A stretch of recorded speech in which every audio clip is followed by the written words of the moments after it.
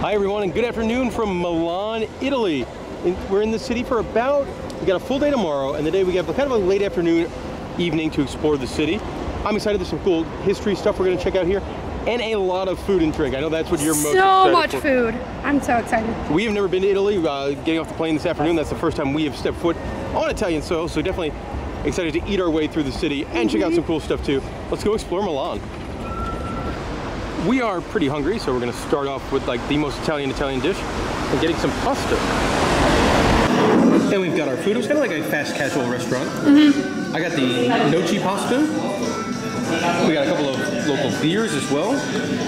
And Molly, how's yours? You've been excited about carbonara here in Italy for a long time. It's really good. And uh, relatively inexpensive for the touristy area. This was 28 euros for two beers and two pasta. There's a big statue for Leonardo da Vinci out here in front of the Opera House. The gallery is one of the most famous parts of Milan, a very fancy, very beautiful shopping area for very much highbrow stores. And in the same area is a museum for Leonardo da Vinci, which we're going to go check out now. The museum, I think, focuses on uh, Leonardo da Vinci's many inventions. Like this one's a multi-cannon gunship. And they've got interactives where like Molly is putting it together if it was like a Lego set. This one is fascinating. This is a model of one of Da Vinci's plans for a robot soldier that was made back in the 1500s. So, uh, an, an, Pulleys and ropes. an early days Terminator. Lots of really cool stuff in this room. A whole bunch of large flying machines, all different types and ideas. And also a mechanical lion. Room here is dedicated to all the crazy music ideas he invented, like this one, the musical canon. And there are also rooms for The Last Supper and stuff for Mona Lisa as well. Oh my gosh, look at that. They also had a VR, like, Yeah, a couple of VR attractions. Yeah. Da Vinci Museum was pretty neat. Um, not a very big museum. We were in there for probably a half an hour, 45 minutes. It cost 14 euros to get in. The Galleria, the covered arcade shopping area, is absolutely beautiful. Totally reminds me of, uh, you know, some of the mega hotels out in Las Vegas. Yes, it does. It's very pretty, and I can't afford anything or want to go into any of the shops. But it's nice to look at. Yeah. Uh, this store's got a, a naked man wearing a fancy jacket who's been stabbed with not one, but two different lightsabers. Right in the main square, stopped at something called Panzerotti Luini. This was on every food tour that we ever saw on YouTube. Yes, and it's like a pizza pocket. Um, we got one with, I think it's mozzarella cheese, prosciutto, ham, maybe one more meat in there. Also got a donut and a soda, and it only came out to seven euros, so this place is really cheap. Here's a shot of the inside, and yeah, that's a really good. It's a snack. Probably have two of them, make a meal. Now, the later it gets, the less options there are. Yeah, I think there were two options right now, and in the menu there's like 15. We have now made it to the middle of the Galleria, and it's it's very pretty here, Really impressive. We got some murals. and a big glass dome. The architecture is gorgeous. And there are a ton of people here. Oh, while walking around the Galleria, we saw there was a sign for Observatory Lounge. And that's not something I would pass up. Love the view. Great people watching up here. And uh, they gave us like complimentary snacks. It's like nuts, potato chips, some, I think it was olives. Olives. Yeah. Uh, we got an Italian beer and a Franziskaner Hefeweizen. And this was like 12 euros combined. Really good deal. And have- Pastries look really Oh good. my god, the pastries look so good. Just took a subway ride here in Milan to get over to the Navigli area of town, which is this really cute area with the uh, river running through the middle of it. Lots of bars and restaurants, some shops as well. Very pretty. Yeah, this, this one sounds good. So this place is about the size of a closet, but they got some nice beer. I'm drinking a Belgian triple. Molly's got a white IPA, and it's about six dollars, six euros each for the beers. So uh, the Nuvili craft beer was about the size of a closet, but you can just take your beers to go. So we're now hanging out here, right by the river, enjoying the breeze. It's a very, very hot day in Italy today, so the, the breeze feels pretty good. And the beer tastes really good. Look at this dog. He's the size of a small bear. And he's so fluffy. And he's got another friend. While wandering the river area, we, we stumbled into Gin 012. It's gorgeous in here. Yes, it's actually a micro distillery. Um, they're open, unfortunately, not on Mondays, but they When have. we're here. Yeah, but they've got a gin bar, and like their cocktails are beautiful. Molly got something called the Lily Bath, which is I think 10 euros, and I saw this on the menu. I had to try it. I had the Mai Tai. Their take on a gin-based Mai Tai.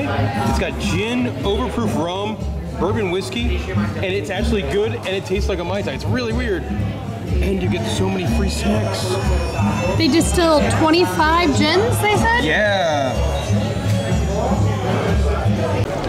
This section of town is rather pretty. The sun is going down here in Italy, which is nice because it's finally cooling off. It is. With some really great views of this area. Uh, we're debating our next like go try and find dinner, or go to a craft brewery. What will win? Find out in the next clip. All right, uh, five dollar takeaway cocktails. We have to try it. So neither actually won, the brewery or the dinner. We got a five dollar Long Island that uh, looks like a rum and coke. Doesn't taste like a Long Island, but there is a there was a dog in there. So that- Yeah, yeah. Look at him. He's resting his head on the table, but when you called him cute, he barked. Yeah, He didn't like that. and unfortunately my camera doesn't like focusing on him. There he is. Oh, no, now I got his attention again. While wandering the district here, we did find this at a couple different bars. They'll have you order a drink for like 14 euros or 17 euros for a different drink, and while you're there drinking it, you get an open buffet of food. Interesting concept. We've seen this at two or three bars. So you might think these are just pedestrian streets. They are not. Cars have gone down like multiple times, and it's difficult to get into their little car holes. Up, watch out, Molly. Got a dude over there just singing opera with a lady playing the keyboard. Uh, found a couple more of these all-you-can eat with a drink for 12 euros bars. This one themed to like Alice in Wonderland. It's very pretty. And this one, I'm not really sure. It looks like um, very popular American pop culture kind of stuff. We got none other than Homer J. Simpson. Uh, Hedwig is back there. Spider-Man. And I think in the back is Bumblebee.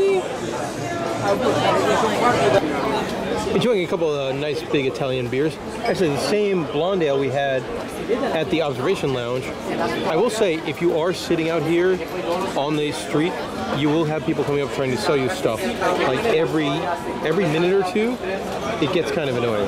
Don't sit in the front. I think we're gonna go grab a, uh, a one final beverage here in the Irish pub, just off the canal. Also, be aware that if you're hanging out by the river at night, you get bit. I will say this pub is absolutely adorable. It's really cute. I believe they do like live music on the weekends, probably culinary nights. We're here on Monday, so we don't have any of that. A nice draft beer list, not too much, like probably 10 options on there. I'm drinking a nice Belgian beer. Molly's got a, a local beer. Got an order of the Arancini for about 6.50 or so. But a very kind of funky bar. Like I love the decor, especially over here. I, I had to pick up the camera and walk over. Look at this table with like the big tree underneath it. That is neat. So thumbs up to this place. Good morning. It is our second day here in Milan, our full day here in Milan, and we're beginning our adventures today at the most famous thing in Milan, and that is the Duomo, which is the giant, giant cathedral. I think it's one of the biggest in the entire world. Very old, very pretty, and what we're excited about, you can go up on the roof, like you see people up there, and that's where we're heading. We have now made it up to the rooftop. Pretty cool being all the way up here. Um, we did buy our tickets online to go to, up the elevator. Um, there's another ticket that I think you have to walk up, and that would that would probably not be the funnest. Look at the gargoyles. Those are Yeah. really cute. Like dragon. We do get some pretty snazzy views from up here.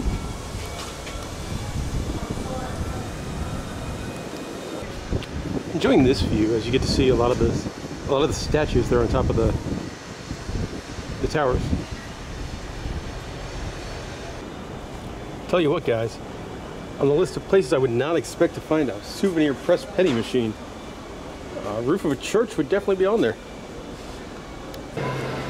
We're now in a different and prettier section of the rooftop. Look at This This is where you come up if you had the stair. You get some cool uh, like juxtaposition stuff. We're, we're on this really old church, but then if you look over there, it's like a mega skyscraper, like a very very modern pointy skyscraper, and then this weird looking apartment building covered in plants. Yeah, it's like the Bos Bosco, I think it's called, or something like that. It was on my list of maybe to do. With the Duomo being a super old building, it's no surprise that a lot of it is under restoration projects. As if you don't take care of something like this, it will fall apart, and that will be bad. Um, we're now at the kind of the very top, and it's pretty cool up here. The kind of place where if it wasn't a tourist attraction, it would be like somewhere Batman would hang out. Yes. Spider-Man. And here's a better view of the the modern Milan skyline. Uh, now in the main cathedral area, just be advised there is a strict dress code. Uh, Molly could not come in with her kind of tank toppy thing.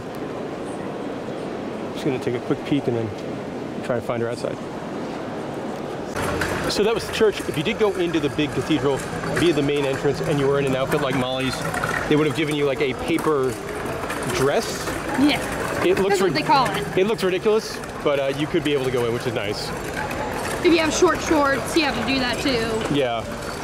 Looks kind of weird, but at least you, you get let in. Now, somewhere else. Lunchtime, we went to a, a famous uh, sandwich place. Served on like big, wide panini rolls. We got the number four, added some fresh mozzarella, um, some sort of ham, two different types of cheese. Looks really good. And it wasn't too expensive either. This sandwich was pretty big, and uh, two cartons of hilarious looking water was 13 euros 80. Excited for that sandwich. Also, there's like a, a like potato paste and some other sort of sort of crema on there. Wondering our way to our next destination, we passed by Abbey Stuff, or Abbey Style Full Stuff.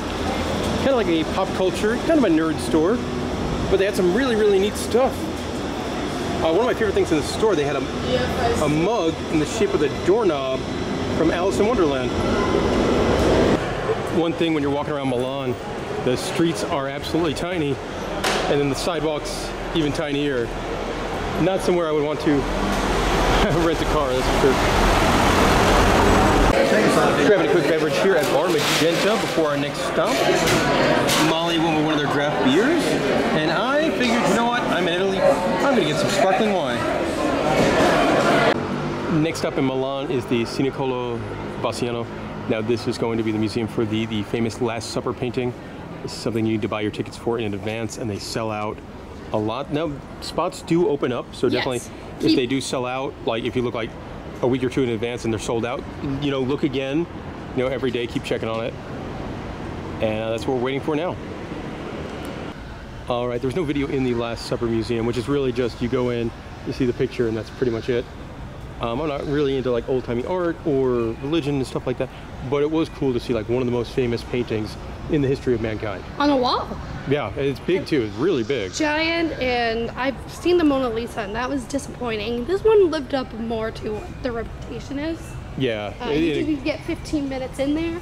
Mm-hmm. They do kind of usher you in, usher you out. You can leave when you want to, but at 15 minutes, they say everyone out. also a surprising amount of Disney-related Da Vinci stuff in the gift shop. We're now at the Arco della Paz, or I think that might be how you pronounce it. I'm obviously not Italian, so my pronunciations are wrong. I do apologize.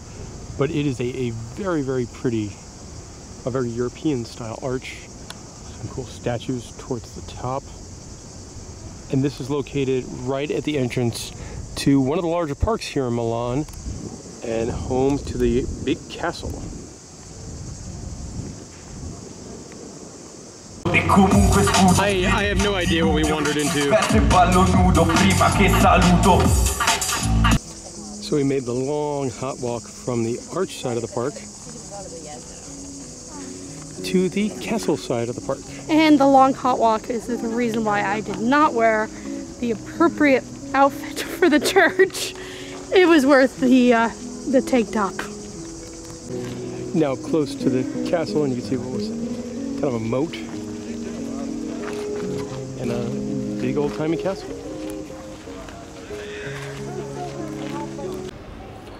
It's a neat castle, kind of like forecourt area. Now to just come and wander around the castle, I believe it is free. There might be some museum areas, or if you want to take a guided tour, that might cost some money. You want to just come and walk around in the park, walk around the castle, no cost. Some cool statues hung up in this section of the castle.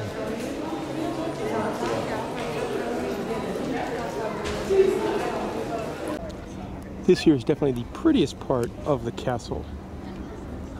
The big elaborate entrance, the cool turrets, and then something that's very interesting. It looks like they do concerts here in the castle. Like that's really neat. Some cool giant modern art on the street. Like how it's in kind of two halves. It's neat old thread. Seeing as it is roughly a bazillion degrees outside, we're gonna stop here at Chocolat Milano for, for some nice frozen gelato. I'm so excited. So many choices. It looks like cake batter. Oh my. Our main way of getting around here in Milan has been the subway system, and it's uh, very easy to navigate, pretty inexpensive. Uh, thumbs up for me. Uh, one thing I always do is we, we don't have like cell phone service is always screenshot the city's subway system. It helps so much when you're off and you're like, okay, where's the closest Yeah. subway station and how to get to point A to point B with Wi-Fi. So Molly, we might get a little heat for this, but something I love doing when we go to a foreign country is check out their McDonald's. I don't always need to order something, but I like to go and see the different menu items. Uh, we just got actually, it's a million degrees here in Italy. We're not planning on this, but uh, there, we're going to some theme parks in the middle of the country the next couple days, and they have water parks. And we weren't planning on going. And McDonald's, if you buy a Happy Meal or like a, a value meal, you can get a Minions beach towel for two euros thirty. So guess who's going to the water park? Yeah. It's a million degrees. And then we um, we just got the kids meal. We weren't very hungry, and uh, the kids meal a little bit different. First of all, you get a full size bottle of water, which was really nice. And then instead of get, getting like apple slices like in America, you could get a Parmesan cheese cube. And uh, I guess over here they've already switched over to the the cardboard put together toys instead of the plastic toys. I believe the American ones are going to do that. Uh, January, I yeah, think. I think January. Plus these beach towels, look how awesome they are. And we got that one, which is totally the one I wanted, of Disco Minion. Really like this craft beer bar. I'm currently at Their Bueno Beer, which is like good beer drinking. Um, they got an incredible craft beer selection. I love the The mural is insanely fun. And like, look at this craft beer selection, especially in the bottles and cans. They have like three fridges full of just awesome stuff, all reasonably priced. Most of your bottles and cans are all six euros or less. Having a great time in here. Just walked about 15 minutes to another pub we were recommended, Lambic Zone. They have burgers and stuff in here, but they specialize in sour beers and lambic beers, and that's super unique. Place is very cool, very unique. They've got about probably probably 15 to 20 on draft, and then they have like 150 in the bottles and cans. It's good stuff, especially if you're into like sour beers and lambics. My friends, this is amazing. I probably drank thousands of beers at a lot of different bars in my time. The first time I've ever ordered a beer, and it's served with its own pouring basket. Like Molly just, it's empty now, but you would lift it up and pour. Oh, it's not empty. Surprise, surprise. That's so cool. I mean, we couldn't come to Italy without getting some pizza. It was a hard decision though. Pizza or Or- sit down pasta. We decided some pizza. We already had a little bit of pasta, so we're gonna get some pizza at Pizza AM. The pizza came out super duper fast. It looks amazing. We are sharing The traditional. the traditional margarita pizza. but they give you sparkling wine Yeah, like a welcome gift, and then bread with like cheese and Spinach, spinach. which is part of their uh, specialty pizza. But the real pizza it smells great. Uh, during our stay here in Milan, we were at the Ramada. Uh, we cashed in a bunch of Wyndham points to stay here. A big hotel, good air conditioning, giant room. That was nice. Uh, big fancy shower, but the shower never stayed one temperature. It would vary between very cold and very hot. kind of weird, there were two toilets. That one, I believe, is a urinal. Um, at first, I thought it was a bidet, but there's nothing that sprays upward. The room was very, very big, very nice. Um, at the time we cashed in the points, they only had two single beds, so that was a, a little bit weird. Yeah. It worked. But what was even weirder was that the, the room is clearly for two people, but then you get this balcony that's made for about 20 people. that is a little strange. All right, that was Milan. Uh, fun day and a half. Molly, what was your highlights? I definitely like the rooftop. That was really good, and then the gelato was delicious. I was gonna say for me, definitely the food. Mm-hmm. Uh, the food was awesome. Yeah, everything we ate, great. All right, we gotta go hop on a train to Gardaland. Thank you for watching this video. Comment below if you have any questions, and thank you for watching.